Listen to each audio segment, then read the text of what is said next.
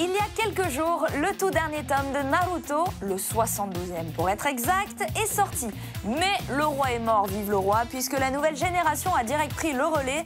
Le fils de Naruto, dévoilé dans le film Boruto, qui vient de sortir en DVD Blu-ray, protégera à son tour Konoha, accompagné de ses fidèles amis. Le film a tellement cartonné qu'un manga a vu le jour sous les mains de l'assistant de Kishimoto-san, le créateur original qui ne joue que les superviseurs. Le pauvre, il voulait juste prendre sa retraite et voilà qu'on le harcèle à nouveau. Apparemment, une adaptation animée serait prévue pour le plus grand plaisir des fans.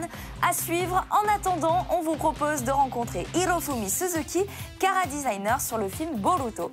On regarde.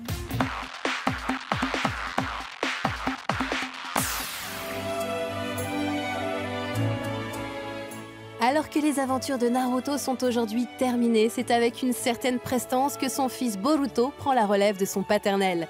C'est dans le long métrage étrangement intitulé Boruto Naruto le film que l'on peut pour la première fois découvrir la frimousse de ce nouveau héros.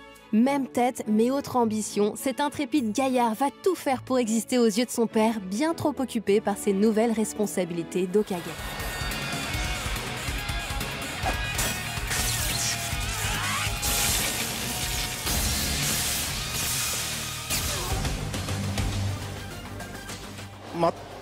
Si Boruto avait été la copie conforme de Naruto, ça aurait été bien triste. Il lui ressemble quand même un peu, mais quand nous avons travaillé sur son design, nous avons mis le personnage de Naruto de côté, afin de ne pas être trop influencé.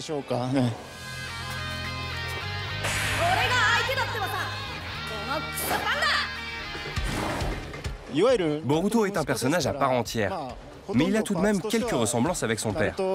Il a par exemple la même coupe de cheveux et d'autres petits détails qui montrent bien la filiation. Pour designer puis faire évoluer ces deux personnages, je me suis appuyé sur les œuvres de Maître Kishimoto. J'ai donc lu et relu ses mangas pour bien m'imprégner de ses évolutions, afin de les retransmettre le plus fidèlement possible.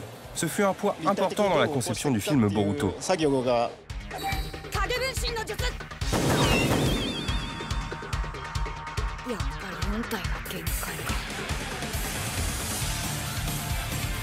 Le travail de Kara Designer ne se résume pas seulement à transposer le design d'un manga vers un film d'animation ou une série animée. Ce dernier doit également être adapté aux exigences de ce format, un exercice que les Japonais maîtrisent avec talent. Ce n'est pas toujours évident de concevoir un personnage pour de l'action.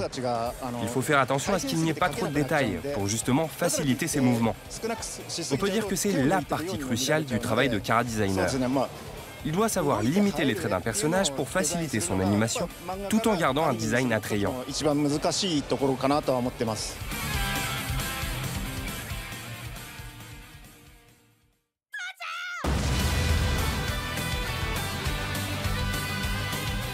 Les chiens ne font pas des chats, c'est donc en toute logique que Boruto ressemble à son père.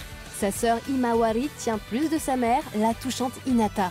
Mais plus que le physique, ce qui fait la particularité de ces personnages, c'est leur caractère.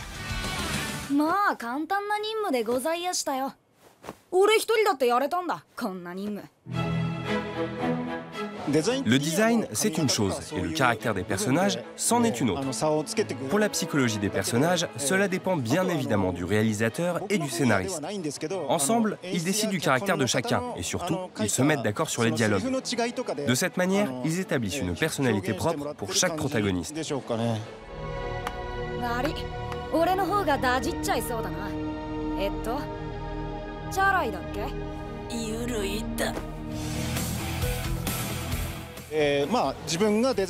Parmi tous ces personnages, mon préféré c'est Shikamaru. Je trouve qu'il a la classe. Et je dois avouer que j'ai une certaine facilité à le dessiner. La passation de pouvoir entre Boruto et Naruto est aujourd'hui actée. Même si le 7 Okage a perdu un peu de sa superbe, on la retrouve heureusement dans le tempérament de son fils. Que ce soit dans le design ou la narration, le film Boruto fait parfaitement le pont entre la nouvelle et l'ancienne génération. Un tremplin qui nous met dans les meilleures conditions pour vivre les nouvelles aventures du fils prodige en manga.